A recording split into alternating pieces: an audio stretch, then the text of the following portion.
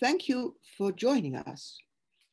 We are so pleased that so many of you have decided to uh, join in because I can tell you this is a very, very special event. It's not just a literary event, it's, uh, it has all kinds of things. You're going to thoroughly enjoy it and you won't regret it for one moment.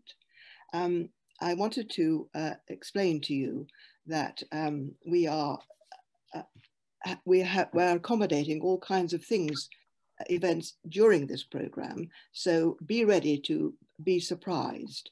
Um, we are absolutely delighted to welcome you all here. Uh, and we are especially delighted to welcome our author, John Willis. And um, I have to tell you that he's written uh, not just one, but two fantastic books. And I'm going to show them to you now. Can you see them? I hope so. I'm, I'm showing them to you, so I hope you can see them. And they are beautifully produced. Um, they have, as you can see, very dramatic um, covers. Secret Letters, I think, is, is so elusive and charming. And Churchill's Few shows a ridiculously young pilot in his Spitfire. They are very, very um, attractive covers. And um, the books themselves are absolutely tops. Uh, they have lovely paper and wonderful clear typescript and it's a joy to read them. I can assure you, um, I, I, I was just swept along and I started reading Churchill's Few and I thought, oh, well, this is about aeroplanes and things. But um, now I can tell you I was totally uh, bowled over because they are um, such vivid books. You can, I, I, felt I was almost in the battle. I now know all about um, Messerschmitt's 109s and 110s and, and, and uh, Hurricanes and Spitfires because uh, John has just brought it all to life. It really is incredibly vivid and I do congratulate him for that.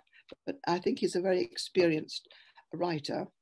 Um, anyway, um, as I as I say, um, I can tell you that uh, Churchill's Few is the story of um, the Battle of Britain, and it's told through the uh, uh, the eyes of um, uh, uh, through the, the uh, through six main characters, and they feature throughout the book. But the, the book is packed with interesting people, absolutely packed with them. But these six men are the ones who who, who tell the story of the Battle of Britain, and they are all of them total heroes and totally unforgettable. They are, they are depicted brilliantly because fortunately John was able to actually talk with them. So he knows them and it just makes all the difference. And uh, they, they are a real inspiration and it's such a brilliant idea to have, uh, to, to, access this story in this way. Um, the, the, um, I won't say too much more. I have told you about the presentation and how beautiful they are.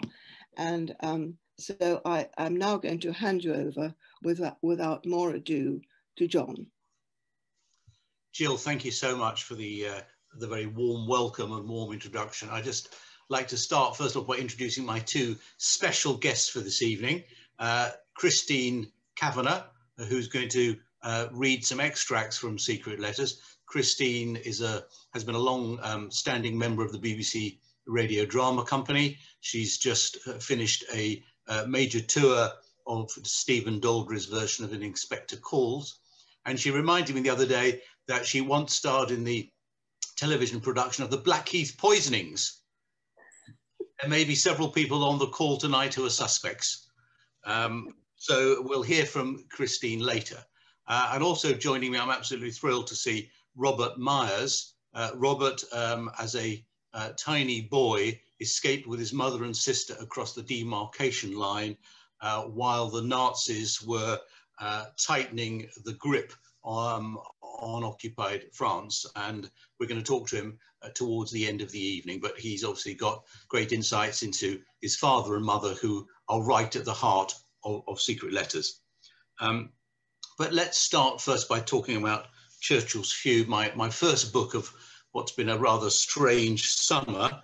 Uh, but this was the 80th anniversary of the Battle of Britain. And as Jill said, the book paints a portrait of the Battle of Britain through the lens, through the experiences, through the eyes of six men who I would probably say were unsung heroes, if you like, uh, a sergeant pilot, uh, a Pole, an ace who was so modest no one had ever heard of him. And then uh, to add into the mixture as, uh, as contrast and comparison, uh, I've got a German as well. So just to get a little flavour of, of, of, the men, here's a very short uh, video clip of Churchill's for you. If you could play that, Emily, thank you.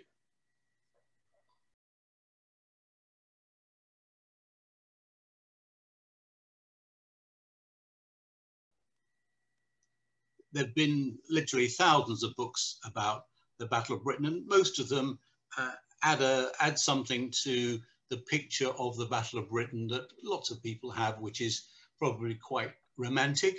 Um, but having talked to the pilots, talked to the men in Churchill's Few, I realized that the, the picture that I wanted to tell was one that was, was unvarnished, was close up, uh, and, and was very honest. Um, and that's why I searched out not the famous names, but actually people whose stories had really never been told before. And I, um, I was first struck really by just how young they are. Um, let's just have the first uh, still, if we might. So th this is this is Geoffrey Page, who features in the book, and uh, well, during the Battle of Britain, he became 20. So he was he was 19 when he first uh, started flying in the war, and that was the that was about the average age, uh, 20. I think most of the men in the book are age 20, and it's quite hard to imagine the future of of, of Britain in military conflict being in the hands of first year university students, or as some of them were only 18, six formers but they were incredibly courageous and did a remarkable job. Geoffrey was dramatically shot down uh, during the Battle of Britain, and he was very, very badly burnt, his face and his hands. And he was one of the first uh, pilots to have innovative, radical surgery uh, at the famous uh, unit in East Grinstead run by Sir Archibald McIndoe, and he became a founder member of what was called the Guinea Pig Club, the people who were experimented, as it were, on. And he had 15 operations while he was there. But uh, despite everyone saying you'll never fly again, he got back in the plane and he flew at D-Day uh, and at Arnhem. The second striking feature, um, let's we'll move on to the next still. The second striking feature, uh, I think, was how modest the men I met were Bob Doe, who we'll see in a second, and who you saw at the uh, in, in the clip at the beginning. Uh, he had also had an accident, and his his nose finished up on, on on the top of his head, and he actually is one of the most successful pilots.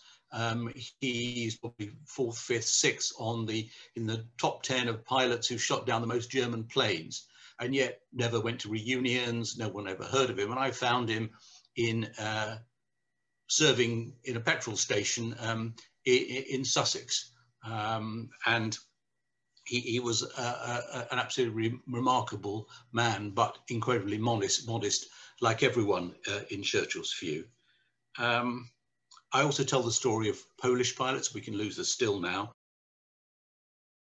They were incredibly experienced because they'd flown in Poland. Some had also flown in France, and they were also fanatical. They they would they they hated the Germans. The Germans had ripped through their country. Their their families were in peril, and they just wanted to get back at the the Germans in in any way they could. And I think.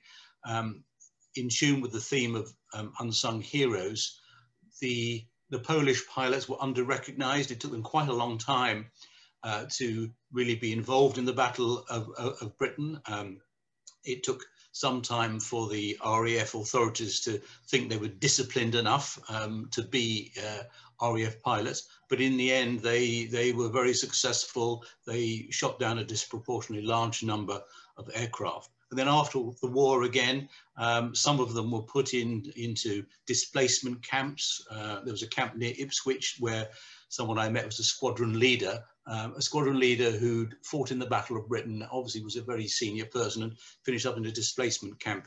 Um, and it, it, was probably not our, our proudest. So I wanted to make sure that the Poles had their, their fair share, as it were, within the book. Um, and then I added in um, a German, and I just thought this would be interesting. It's quite unusual in books about the Battle of Britain. I haven't seen hardly any uh, books that include the German perspective, and I wanted to both sort of compare whether the German was like his young uh, British counterparts or whether he was different. And we can have a look at a still now of uh, Ulrich Steinhilper. Thank you. And uh, the conclusion I came to was that uh, Ulrich was actually very like the RAF pilots in the Battle of Britain. Ulrich himself was shot down uh, three days before the end of the Battle of Britain. Uh, he landed in a field near Canterbury, slightly injured, and he became a prisoner of war. And ultimately, I think he escaped five times. He moved to prison, a prison camp in, in Canada, and he just kept on trying to escape. Uh, and in the end, he uh, he stayed in the camp after five failed attempts and and and went home after the war. But he was like the like the pilots, and he got on very well with the with the with the RAF pilots because they were both they were patriotic rather than political.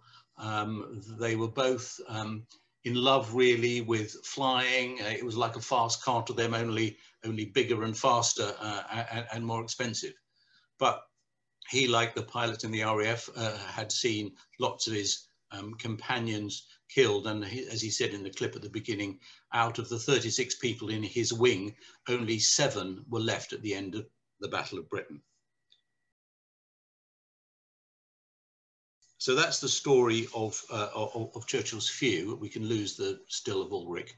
Thank you. And I, I called the, uh, on the cover, it's called, uh, you know, it's a turning point in World War II. And people say, oh, you know, was it really that important? Well, at that point, Hitler was undefeated. He was unstoppable. He'd ripped through Belgium, France, you know, following on from Czechoslovakia uh, uh and Poland and he had, uh, to use a modern phrase, momentum. And it was really important that he was stopped there. Uh, it was obviously trickier for him to use his blitzkrieg tactics of, uh, of bombers and tanks uh, across the channel. That was an advantage. But um, the Battle of Britain pilots did a, an absolutely remarkable job to hold the Germans back. They were helped by uh, a, tremendously good radar system, which the Germans didn't really know and understand, and by some mistakes on behalf of, of, of the Germans. And in the run up to the war, we just managed in a kind of slightly British um, skin of our teeth way to re-equip our air force with, with, with, with good aircraft. But they did it, and uh, Hitler was then pushed, uh, pushed back and pushed into the arms, or the rather chilly arms, might I say, of, of the Russians. Uh, uh, if he had invaded, then the rest, of course, would have been history, and British history would have been very different indeed. Um, so let's go on uh, to the second, the second book, um, which I wrote, which was published a little bit later in the summer. Um, in Churchill's Few, um, we, we also meet uh, Geoffrey Myers, um, who wrote secret, who writes the secret letters. It was really only when it came to the 80th anniversary that I realized there was an opportunity to uh, republish with the support of his family the letters in, in a full form. Uh, Churchill's Few only has, a, has some of them because he's only one of six characters. But uh, in Secret Letters, he and his wife Margot are, are center stage, as it were. Um, so should we just have a picture of Geoffrey if we uh, Jeff was an intelligence officer with 2-5 Squadron in the Battle of Britain. Uh, he was a journalist and he was Jewish. His wife, Margot, let's have a look at Margot, was uh, trapped in Nazi-occupied France uh, with her two young children, Robert, who you'll meet later, um, and his younger sister, Anne. And This was the family house, had been a place of refuge for the family in the First World War. Mother, grandmother, um, aunt lived near, lived there or lived nearby. And it felt at the beginning of the war a safe place to be, but it didn't prove to be so. And um, uh, the couple, of course, were, were, were, were separated. So um, Jeff decided to write uh, letters to Margot and to the children. Could we lose the picture of Margot? So he wrote, um, I'm going to hold up, hopefully you'll see, hand, hand handwritten letters um, in, in, these, in these notebooks. You can see some of it's written on RAF notepaper, RAF Martlesham Heath, it says. And at the top it says, secret and private. And he wasn't able to send letters uh, to his wife. It was just too dangerous. It was there was too much risk that someone would betray her, someone in the postal service, a neighbor would say there's an English woman, uh, husband's in the RAF living in this village or that village. So they were kept in the book to be given to the family after the war and only to be read after the war if they all survived, if they were all alive. Um, in lots of ways, these letters, which um, are, are, are, written quite often with some code where the names are, are changed, and I had to in, work out what the name what the names were. And some people had two code names, but we I, we managed to do it, and eventually I got some help from Robert. Um, but it's a it's, it's it's a really unique record. I, I, I don't think of all the books about the Battle of Britain I've seen, I've never seen anything quite like this because at one level uh, Jeff, who as a journalist, of course, writes very, very um, eloquently. It's a tremendous arc of history in the first part of uh, uh of the of the war. He was there for the Battle uh, of France. He was at Dunkirk, and then he was in the Battle of Britain and, uh, and, and, afterwards. And indeed, he finished up as a as a code breaker at Bletchley Park. So he he he's, he almost saw everything, and um, at the same time as you've got this broad picture of war, you've got a very intimate um, story of the relationship between Geoffrey and Margot, between a young couple who are separated and are both in danger um, and whose marriage and family are in peril and they're caught, as it were, in the, in the sort of crosshairs uh, of this conflict. Um, uh, and that gives the letters a, an intensity that you don't often see. So let's just get um, a feeling of um, Christine, let's start with the first reading. For Geoffrey Myers, as the months of silence from wife Margot trapped in Nazi-occupied France grew, fear for his family's safety intensified. If you were still free, the Germans would be bound to find out sooner or later that you were the wife of an Englishman and they would then discover that you were the wife of a Jew and a journalist, the combination of all that is hated by the Nazis. They would have grounds for arresting you, saying that you had concealed your identity. You would be taken away from the babies, as I feared all along. Soon, I'll have the courage to take your photo out of my wallet and to look at the children. I don't do it because it hurts too much. They can't destroy my faith and confidence. Whatever happens, I'll always trust you, my lovey. There is something that binds us together that all the bombs in Europe cannot smash. Thank you, Christine. Uh, Margot was 25. Let's have a look at a picture of her. She, she had two children, as you can see, under five. Robert Robert is the taller one. He's slightly different now, but uh, Robert is the uh, is is the bigger one. And as I say, we'll meet him later. And it's quite unusual, uh, well, almost non-existent really in books about the Battle of Britain to have what they would say in Hollywood a big part for a woman. This is very evenly balanced. Uh, Margot's story is the equivalent of Geoffrey's. They're both equally important, and you see an incredibly remark, incredibly and remarkably resilient uh, young woman. Uh, and I'm really pleased that um, when uh, uh, friends who read it, women, women friends who read it, they really seem to find something special in it. So let's hear a little bit more about her. Let's lose the photograph and come back to Christy. Margot, a piano teacher in Paris, and her two children were living nervously with her mother at the family farm as the, German, as the Germans ripped through France in 1940. In central France, despite her pianist hands, Margot Myers worked the farm hard, hoeing beets or bringing in the cows. The outdoor work brought some peace to her anxious mind. I savored enormously the silence and solitude of the fields, despite the anguishing news of the war and worrying about Jeff. As the German grip on the area tightened, peace was no more. The rout had begun. Refugees blocked the roads. Airplanes were shooting on civilians, and the French army was helpless. It was hell. Thank you. As I said, uh, Jeff Myers was an intelligence officer, and it was his job to report every day the successes and failures of his squadron in the Battle of Britain and that was reported to Fighter Command HQ and was part of the, the jigsaw puzzle that were, was being put together on a daily basis of uh, the strengths and weaknesses of the defense and the German attack.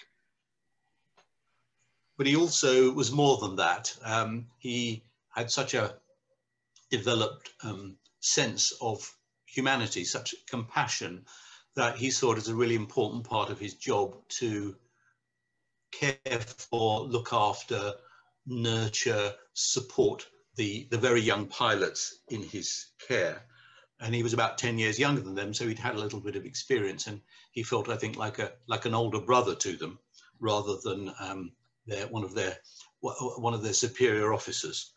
Uh, and of course, in the Battle of Britain, um, uh, many young pilots were killed or badly injured.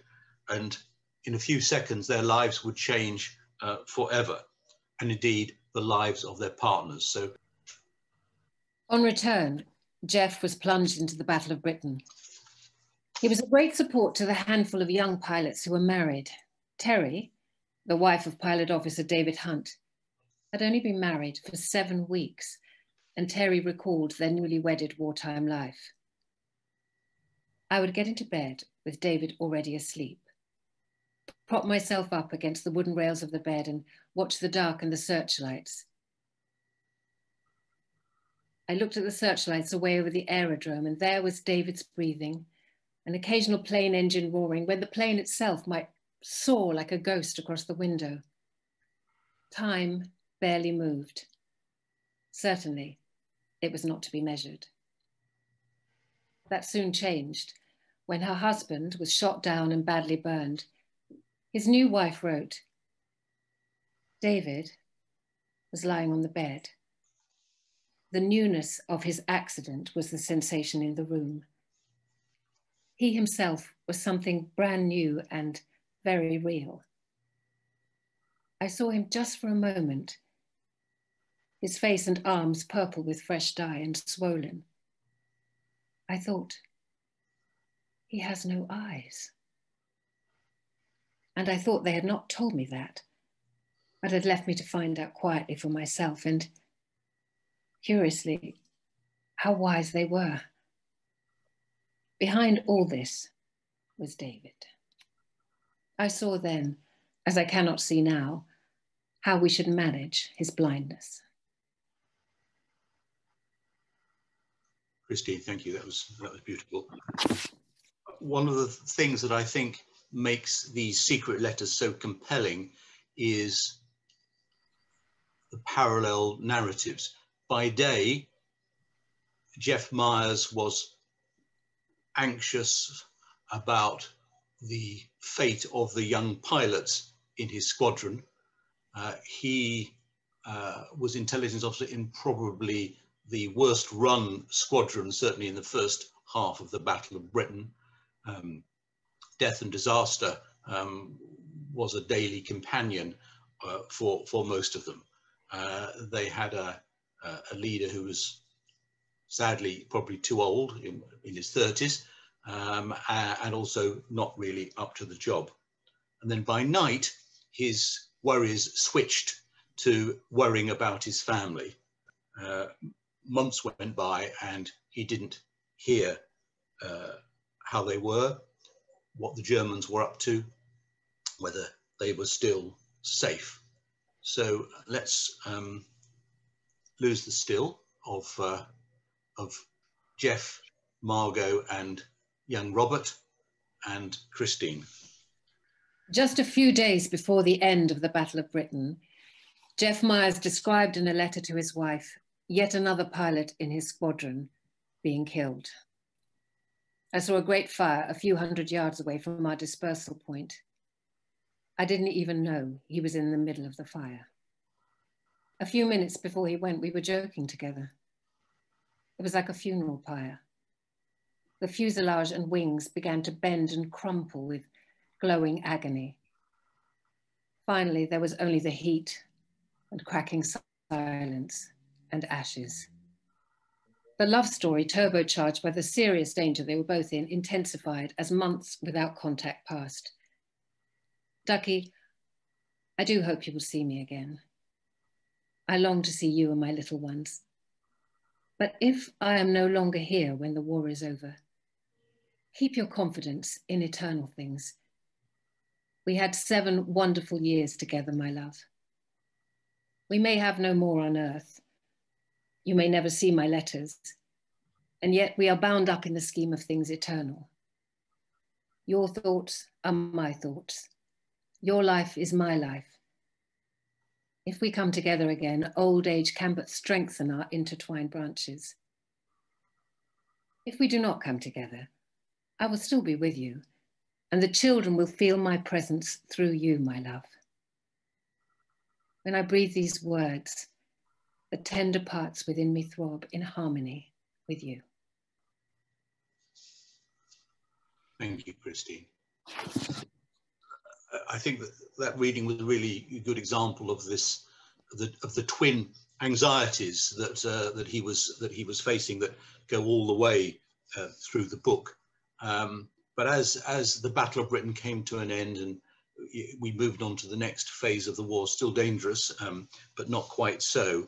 Um, he Jeff got more and more worried about the lack of news from France uh, it, it, appeared in, in the, in, the, British press and indeed in Parliament that the remaining British citizens in France, and there were quite a number, were being rounded up um, and being put in camps. And that really um, uh, alerted, alerted Jeff to the urgency uh, of the plight of his family if they were still alive. And in the local town, the, the, uh, the, the prison was turned into a, a kind of Gestapo run uh, dungeon.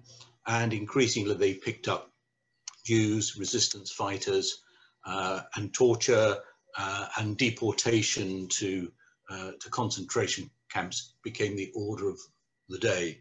So uh, Margot Myers was in grave danger. Um, and what do you do? Do you stay uh, in with your family, with your parent, with your mother and your grandmother in a place that you think is safe? Or do you take your two children on a dangerous journey across the demarcation line, which you might not get across through Spain, Portugal, and hopefully somehow to England? So Christine, let's lose the photo and let's have the final extract if we might. In central France, the Gestapo started imprisoning resistance fighters and Jews in the nearby town. Margot's concerns sharpened. She saw in the distance a German soldier on a motorbike making his way up to the house. Was he looking for Jews or for English children? Margot's heart pounded. Even her little son Robert could sense the tension and then the relief as the soldier smiled and then asked in halting French if he could buy some eggs. Margot knew it was time to escape. Margot found a local couple who were passeurs, smugglers of people across the demarcation line into Vichy, France. The passeur said, don't bring any luggage. Dress as if you are just going from one farm to another. The family should appear just as normal, no luggage, no special clothes. Leaving was terrible. We said goodbye to my mother and grandmother. Aunt Marcel accompanied us on her bike. I was pedaling too, with the two kids behind in the trailer. When we reached the rise, Aunt Marcel stopped. We said goodbye, and weeping, she watched us continue on our way. Margot had no idea when or if she would ever see her mother again. England and her husband seemed impossibly distant. She was caught between wanting to be with her French family and needing to be safe with her husband once again. Now, she was solely responsible for two young children with thousands of miles of danger ahead. Christine, thank you for all those really fabulous readings. Uh, they were beauty, beauty, beautifully done. Thank you. Um, you just imagine the situation 25 year old woman two tiny kids with absolutely nothing not a spare inch of clothes absolutely nothing just uh, just some uh, documents passport which she'd buried um, for the last few weeks but um, she took the passports they were handed to the people smuggler and she was given a false false documents to go across the demarcation line um, and she prayed when she saw how um, amateur the documents were that she wouldn't get uh, she wouldn't get picked up. I won't tell you what happened next, but I can say that a few days afterwards, the Germans came looking for her. They came looking for that English woman. Um, they uh, went to the uh, the town hall in the village and said, "Where is she?" So Margot escaped by the skin of her teeth and just in time. Uh, and I'm really pleased she did because otherwise we probably wouldn't have Robert here to join us. Uh, Robert, welcome. And um, what, what's it been like for you seeing the story of your parents, um, very romantic, very emotional in places, uh, there in, in print? Well, as you say, it's uh, it is very emotional, um, and uh, it makes me realize when I when I read it and read your book what they went through. And I suppose as a kid I didn't know uh, the agonies uh, and and the difficulties that they went through because they were always very um, positive uh, about uh, about life. Uh, it was quite clear that they were very much in love and they stayed that way right through their lives. I can remember uh, leaving Bochmer as uh, my grandmother's place, uh, and I can remember uh, a few things uh, on the journey uh, to Spain and Portugal. The first one, of course, was was going through the escaping across the border uh, it was absolutely bucketing down, pouring with rain. Uh, my mother was pushing my sister in a wheel in a little wheelchair, uh, a little um, child's pushchair, and I was on the saddle of uh, the the passeur's wife uh, bicycle, and uh, that that way we went we went because it was so uh, so uh, wet. The uh, German sentries didn't get out of their sentry box, and we just walked through. A complete miracle. Of course, the other side, once we had got to unoccupied France, to Vichy France, um, we were the refugees. And uh, there's obviously a route that others took. And we were very badly received when we got to the little village, uh, the other side. And uh, we fortunately, um, briefly, uh, were, sorry, when my, when, when my mother uh, showed what plight she was in with two little children, absolutely soaking wet, uh, she did uh, she did allow us to go into her her little cafe. And from there, uh, she helped us, in fact, to get in touch with a with the taxi, uh, and we were taken to uh, uh, another local town which was bigger, where we spent spent spent the night, and um, were able to dry out properly and uh, for my mother to fix up the uh, another taxi uh, through, that would take us to that would take us to um, friends of my mother. My mother went because uh, my grandmother's place was quite close to the border. My uh, my mother had a friend who she was best friend, in fact, a best school friend, who was on the uh, on the unoccupied part of France. And she managed to get a taxi to take us there. They didn't know we were coming. My mother didn't know whether they were still there. There was no communication between the two parts of France uh, as far as we were concerned. And we were wonderfully received, in fact, there. Uh, and um, this then uh, allowed my mother to get all the necessary papers uh, from, from either Vichy or Lyon uh, to get through Spain and uh, get a visa to go into Portugal. And that took her about three months, I think, uh, patiently going to the various authorities in Vichy and in uh, and in Lyon with the uh, the embassies. And she had you'll just you'll hear you'll see it in the book.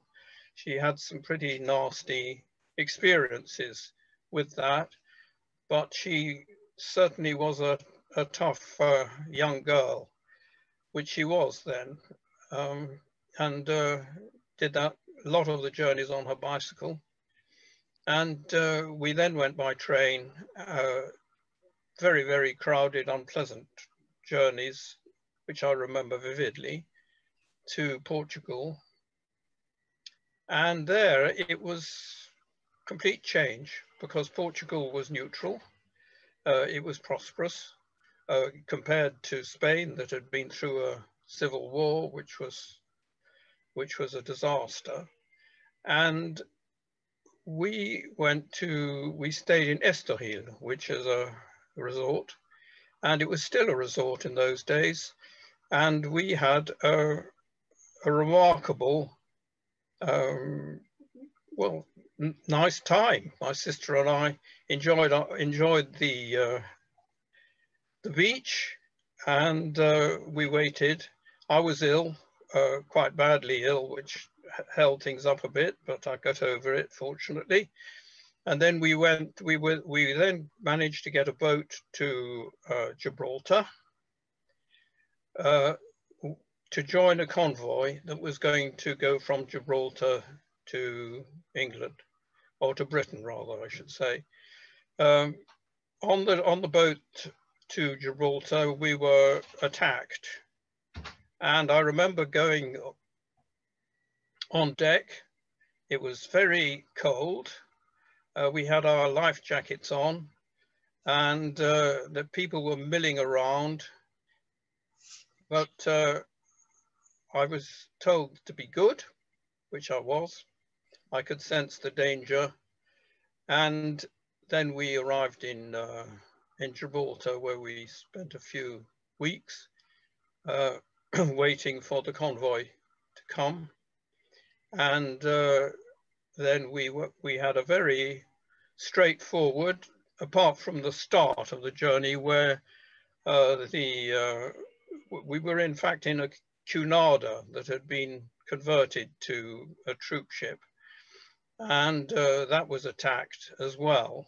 But uh, there was some scurrying about and aeroplanes and uh, a big bang when a, um, when a um, depth charge went off, chase away the submarine. And that was the only uh, action right at the start that, uh, that, that I saw or that the, um, the convoy saw as far as I know. And we then went uh, right across out into the mid-Atlantic and uh, right round far south of Iceland and came in to Glasgow from the north. Uh, and my mother, right through that uh, journey, said that she always slept in her clothes because uh, she wanted to be ready in case in case we were we, we were attacked and sunk. And when we got to Glasgow, we, we then uh, disembarked, went to a hotel. And I remember we, in the morning when we woke up, my father, who'd obviously come up on the night train from Martlesham, uh, coming into the room, and I remember it absolutely vividly. My mother went over to him and he picked her up light as a feather uh, which of course for me was a was a wonderful thing, and that really is the story of our escape. Robert, were you? Uh, is, uh, you've given away the plot of the book, but um, were you were you aware of uh, as a young child, were you aware that you were in danger, or were you just busy thinking, "Oh, I'm going to play on the beach in Estoril and it's all lovely"? Well, no, my, I, I was I was definitely aware that we were in danger in France and when we were escaping. Obviously, I, I knew that. I knew I knew that uh, we weren't just going for a, a friendly walk. Uh, in in in uh, in Portugal, no, I wasn't. I, I we we didn't. Uh, there was no feeling of danger there. There was obviously the feeling of danger on the boat from time to time, but uh, once we had crossed the, de the demarcation line, uh, we were relatively free. My father got a, my mother got a pension from the uh, from the British government, and uh, there was no sense. There was in in in that particular case there was no sense of danger. My mother knew the general picture, of course, uh, which she describes about, uh, well, particularly when Germany attacked Russia, she thought, oh, that's good. That uh, is the, the worst over. She felt that uh, the war had been won then. And what, what, how would you describe the, the personality, the character of, of your father and, and, and then of your mother? Well, my mother was a, a pianist and uh, the piano was definitely her her passion. Uh, my father was, and and she was uh, she was a, a thoughtful and uh, determined person. She used to practice uh, because she was a, professional uh, pianist. When, when she got back to the piano after looking after the children, she used to spend most of the day uh, at the piano uh, practicing. She was very, very um, centered. And uh, she was uh, clever in, in a quiet sort of way, very clever, very sensible. Um, she told me that she never had any doubts once she had set off that she would get to, to Britain. She had uh, no fear, she said. She just put one foot in front of the next and uh, had complete confidence that she would she would make the journey. At the same time, she was obviously conscious of the uh, of the danger, but she felt that she would make it. My father was um, was an extremely kind person. He he uh, um, was very sensitive to other people, as uh, and he he he he really suffered uh, the the the fate of the of the pilots, and um, he was also he was very clever, and also very very conscientious. So this this combination, I suppose, allowed him to be a successful um, intelligence officer and then move on to, to Bletchley Park. And he had uh, had um, uh, he had spent time as a journalist in Berlin and had spent uh, and had seen the rise of, of uh, Hitler. So he uh, was uh, one of the first to join up in, in the RAF and he fought his little his little war, which was in intelligence, not on the front line or anything, with with huge uh, determination and passion. Uh, when he was at Bletchley, he worked ceaselessly uh, on top of uh, looking after after us and having an allot, allotment, and uh, uh, he, he really worked hard, and he, he was a yes, he was a, a clever, a clever and a kind man. Robert, thank you so much for uh, for your um, relating your experience uh, and also for your insight. I, I can vouch for that. I, I, I, met your father when he was alive, and you knew that you were in the presence of someone who had a really good set of values, uh, who was an exceptional human being, and exceptional human beings also sometimes, you know, quite often have exceptional careers because you can't really differentiate uh, between the person and and and the professional. Um, and I also uh, will add um, that you know he had a, a, good sense of humour too. There was a kind of twinkle in his eyes uh, quite often, and that just comes through a little bit in in in the book, I think. So thank you so much for that. Christine, thank you once again for a beautiful reading. You certainly deserve the gold disc behind you. Um, much, much deserved gold disc for readings. Uh, thank you. And I'm going to hand you back to Jill. I think there's an opportunity for questions which you can. Um... I just want to say one last thing, uh, if I may, John. I think that your, my father would have really appreciated uh, your book. I know that uh, when you interviewed him, he told me uh, how impressed he was with you. And I'm certain that he would be extremely, extremely pleased that this story has been published. Thank you very much. That's a really, uh, for, for, for, for an author and for me, that's a really lovely thing to hear. So thank you very much. That's very, uh, very uh, touching and, and, and reassuring that I did a, a decent job by him. So that's uh, is a big responsibility. Thank, thank you very much. So back, back to Jill. Um, now, I'm going to start by asking questions, but I just have to thank Robert for that wonderful interview because it was totally fascinating and deeply moving. Um, anyway, so um, my first question really is rather an obvious one, uh, John, because I want to know how you came to be so involved with the story and so interested in the Battle of Britain. Well, um, in about 1980, uh, I discovered that my father, who was a writer, uh, but also uh, as a young man was a, uh, a, a political activist. He was chair of the Labour League of Youth, and he was a prominent young anti-fascist, uh, chasing Oswald Mosley's men around the streets of East London. And I discovered, and I think he discovered too completely randomly, that he was on Hitler's death list the list of people who would be immediately arrested, picked up, incarcerated, and no doubt uh, killed. There was a, a, couple of thousand people on it. And one of the Sunday papers just had one page picture from it. They just happened to be the page with my dad's name on.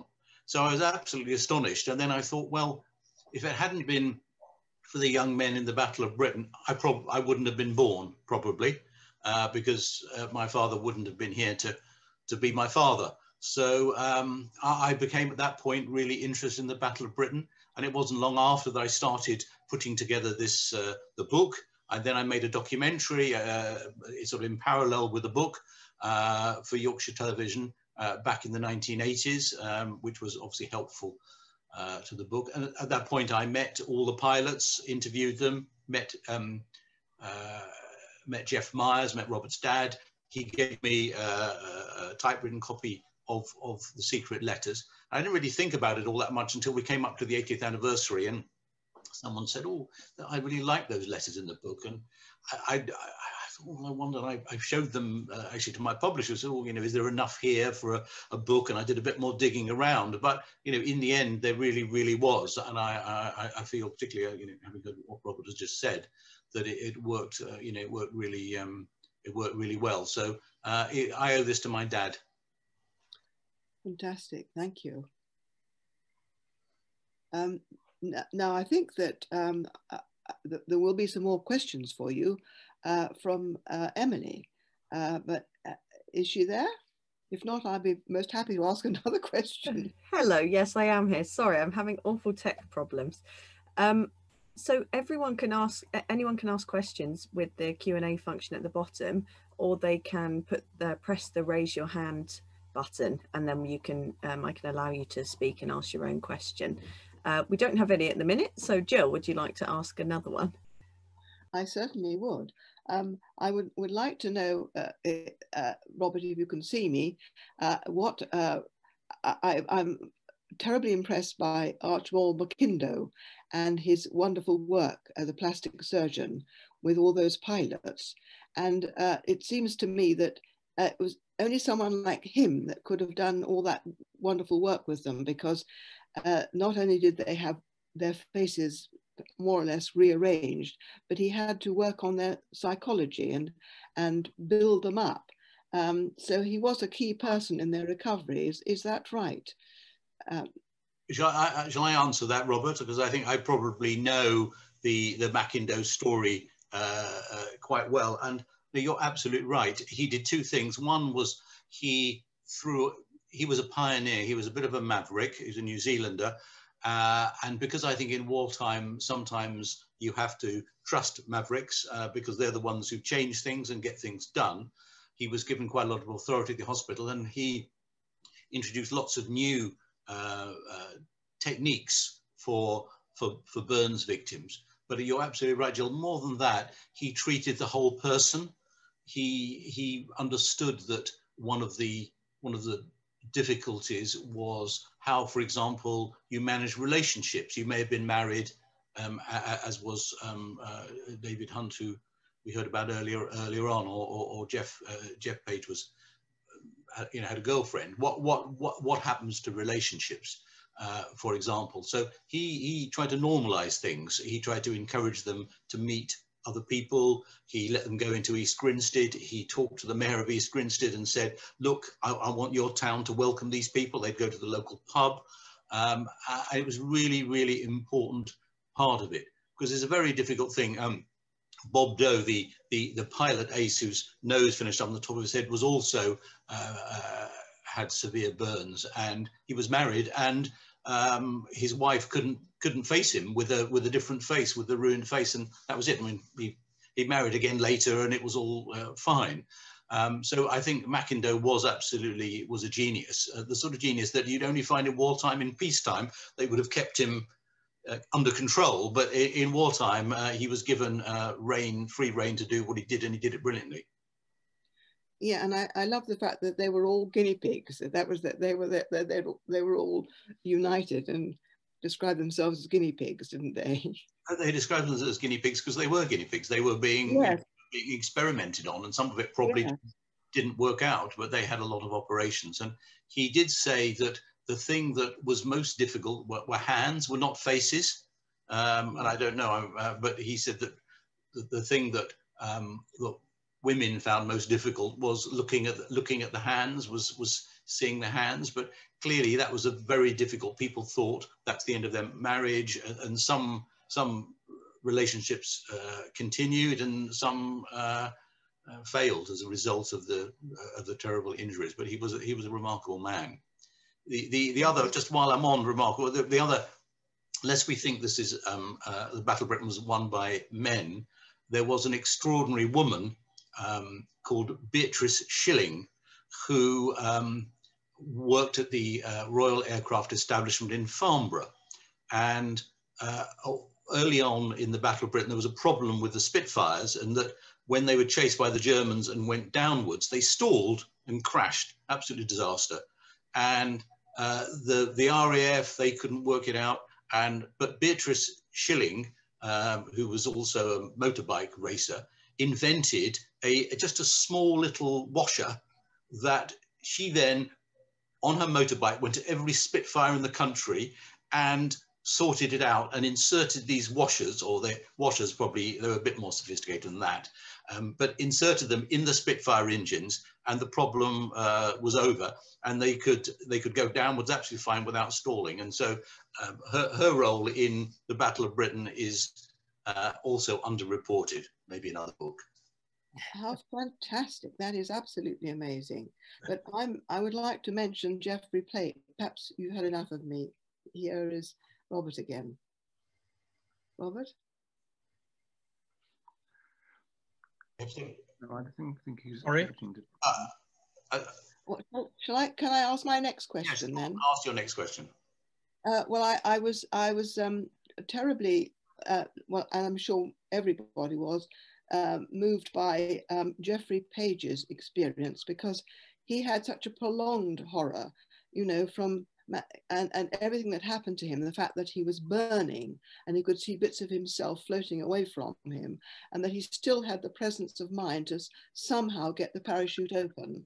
And um, it, it, was the most amazing story, wasn't it? The way he, he uh, his sheer courage and, and the way he was able to um, open the parachute, for example, because if your hands are, uh, on, are burning and bits of flesh are falling off them, it's no easy job doing these things. But he managed to do it, and he managed to get out and survive and, and get the parachute open and I found that very moving. It, it, it, was an extraordinary story, and he was an extraordinary man. And yes. I spoke to the the pilot in the plane next to him when he was hit by the Luftwaffe, and he said it was like a fireball, and he couldn't imagine for one second that Geoffrey Page could survive it, but he did. And I think when he landed in the water, his survival instincts, which we probably all have, really kicked in. And however painful it was. Um, he did with his very badly burnt hands manage to click open his parachute because otherwise the big silk umbrella you know might have might have drowned him um, and he thrashed about in the water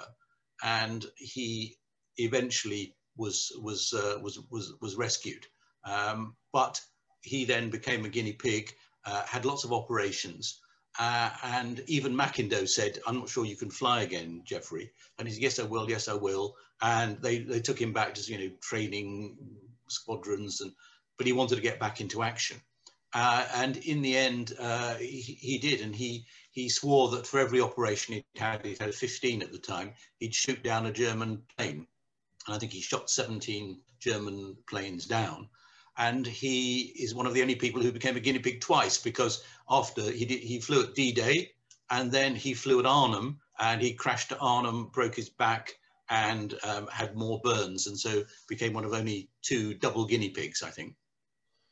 It's absolutely incredible, isn't it? I mean, that, that he could survive all that is just almost beyond belief. He must have had great uh, mental courage, I think. he, was a, he was quite a character. Yes, yes. Quite amazing. So we have a question here from Richard who says, um, how long did it take you to complete the books from the time you first decided to put pen to paper? Well, the, the first book took quite a long time because uh, I, I, was working uh, in television, um, which was very not just full time but beyond full time. I had two young children, so I called this a Sunday morning kitchen table book. So the only time I really ever got to write it was on Sunday mornings, um, you know, in the kitchen while um, uh, my wife kindly took out uh, took the children out for a walk and I scribbled away. So it took, it took, um, it probably took about three years to write the first book. The second one, partly because obviously lots of the words were already written by Robert Myers' dad, I probably wrote in three or four months, uh, incredibly fast. And it was because there was a deadline. You know, the anniversary of the Battle of Britain doesn't wait you can't be late for that. If you want a book to be published for the anniversary of the Battle of Britain, it was published on Battle of Britain Day. You can't afford to, to dally about. And I probably would have liked you know, you know another couple of weeks on it to to polish it up a little bit more, but I, I just had to do it. So uh, fortunately, um, uh, things like um, lockdown one were quite helpful. So um, I had a little bit of time and I managed to, to get it done, but I probably did that in four months, I think, and the other one probably closer to four years. Thank you. We have another question from Tony. Um, what happened to those who survived the war? Were they damaged by their experiences? Well, I think, well, of course, one of the things you, you, forget about the Battle of Britain is that there were, once it was over, there was another four, nearly, there was another five years of war to go. And quite a lot of people who survived the Battle of Britain died later in the war in another, in another theatre of war um, uh, you somehow assume there was a sort of endpoint, but there wasn't. It, you know, it went on. Um, I think that uh, I wouldn't. Some were clearly damaged by what happened. Uh, I think everyone was changed. Um, when the most dramatic thing in your life happens when you're 20 years of age, you you become a guinea pig. You're badly burnt. Um, you, you you worry about whether your wife can uh, cross with your children across the demarcation line. You're flying in mortal danger every day. Whatever happens next um, is, in some ways, is an anticlimax. Um, and I think that some Battle of Britain pilots felt that they they reached that they peaked very early, um, and it was quite difficult to replicate the the comradeship, the, the excitement, uh, the danger, uh, the adrenaline of what had happened uh, during during the war. So I, I wouldn't say they damaged. They were damaged. Uh, some uh, probably were, but I would say that that virtually all of them were, were changed quite quite dramatically. I think the other thing that it did was there were people. One of the um, pilots in the book is a sergeant pilot from Cheshire, very humble background. Uh, he finished up as a squadron leader. Uh, and if you were good at what you did, um, it didn't matter in the end whether you were a sergeant or whether you were a flight lieutenant. By the end of the war, he'd become um, uh, he, would become a squadron leader, and I think uh, that was the other thing. It, it, it, moved people through the British uh, hierarchical class system uh, quite easily sometimes. And that was the, the case with Bob Doe, wasn't it? Uh, that he, uh, you know, had a wonderful for him, it was an escape from a very mundane existence. Yeah, I mean, he was a you know he was a post boy for a newspaper, left school at, at 16, and he finished up as a wing commander in the, yes. the um, and that, that changed him all, of course. I might say something about uh, my father's uh, post-war experience was the, the the the Battle of Britain and the the war the war years had a huge impact on his on his outlook. He had been, uh, as I said earlier, he had been um, in Germany, and I have German German friends, and uh, at the end of the war, he he had to debrief some of the uh, the uh, uh, Luftwaffe's um, pilots and their, their commanders. And he found that very interesting. And he was very, he had a, a, a very good rapport with them because he had huge respect in the, in the way that I liked so much about in, in your, your first book, uh, John, where you, you took the um, uh, the German pilot and gave him uh, a good, a big place. There's there's one one thing that my father said was that he was very very conscious that uh, the pilots in Germany were going through the same agonies that uh, his his pilots, as it were, were going through. And after the war, he had one burning uh, desire was that the two countries should heal their wounds. Uh, we had a German au pair and my sister learned German as her, her third language. Uh, he, he was extremely keen, uh, as it followed up, on the uh, Iron and Steel Federation and then the uh, European Union. He, and he saw that develop with, with great uh, pride. And uh, I'm glad to say he hasn't seen what has happened recently.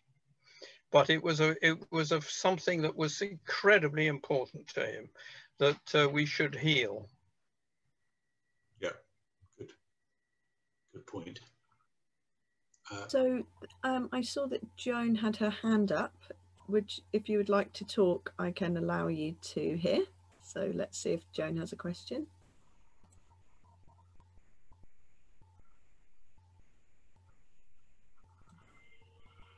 Hey, I'm unmuted. Um, just to introduce myself to those who don't know me, I'm Joan Ruddock and I chair the Friends of Blackheath Hall. So I'd just like to say to all of you, this has been an absolutely wonderful evening. I mean, uh, the everything that's been said is so fascinating, so moving, beautifully read.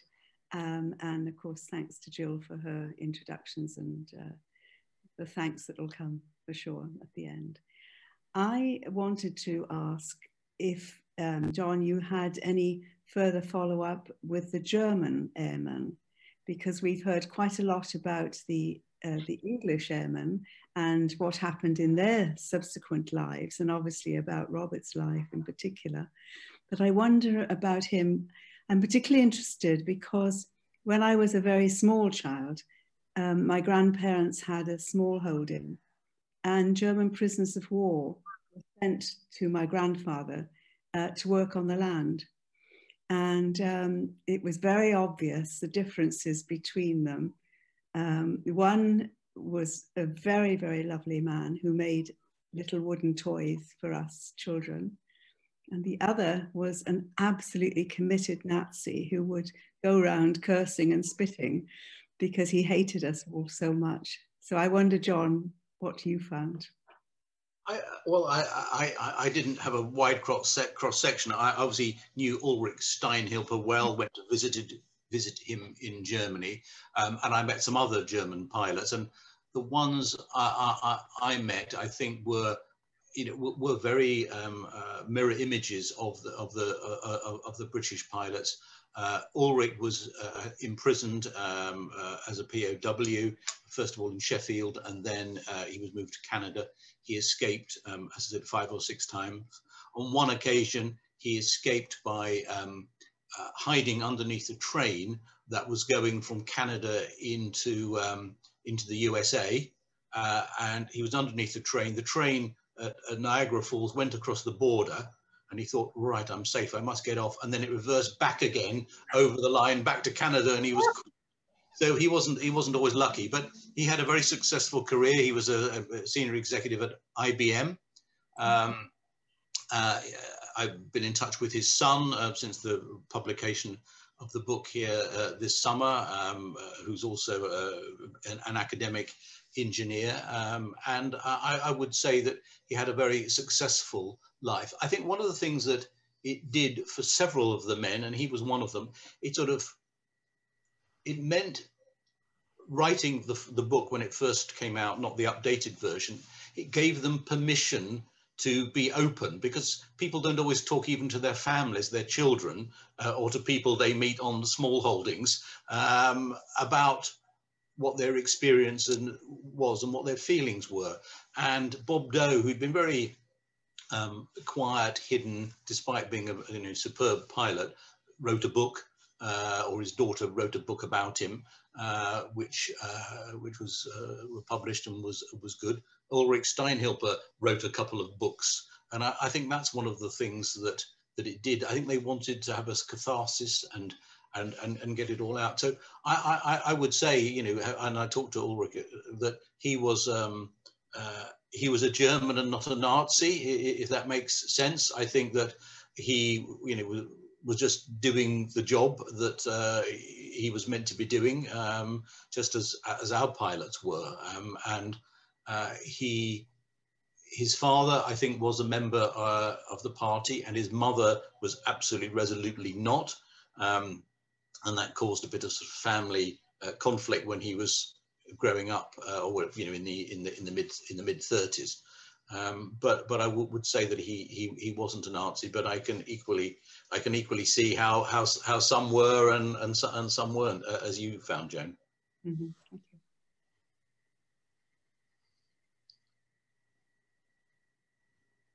Any more, Emily? Emily, Emily, are there any more questions? No, we, we don't have any more questions. Uh, in that case, I think we should uh, bring this event to a, an end, if that's all right uh, with you, uh, dear John.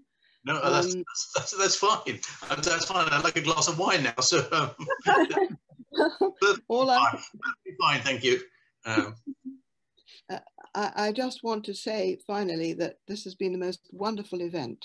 Uh, you yourself has con contributed a huge amount and we, I am so grateful to um, the son of uh, uh, Geoffrey Myers, Robert Myers, coming today and talking himself.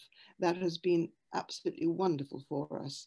And I'd also like to thank our contributors, our beautiful actress, Christine, who read these wonderful moving letters. Wasn't that fantastic? So I think we've had a pretty good team, mm-hmm. quite honestly, and I think it's been a wonderful event. But uh, if, if Emily. And I would like to, uh, my husband's whispered, don't forget to thank Emily. So dear Emily, we're thanking you too. so on that note. And, and, the book is available. Um, we know that Waterstones in Blackheath Village have it. And of course, you know, uh, online, Amazon and everything else uh, have it. So um, if you enjoy it, please, please, please buy a copy so I can get my own gold disc. perfect, perfect Christmas presents, I would say. Thank you. I'm happy for anyone anyone in in South London. I'm very happy if it helps to sign a copy. Of course, um, Emily knows where I am. Thank you very much indeed. Thank you very much. Thank you, and good night, everyone. Good night, Christine, Robert. Thank you. Good night. Bye. Nacht, Nacht, Gute Nacht.